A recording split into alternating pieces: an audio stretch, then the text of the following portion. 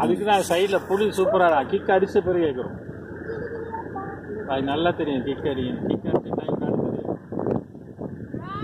ஆ சவா சவா. என்னடா ஒரு ரியாக்ஷனே காட்ட இங்கே வந்துடு.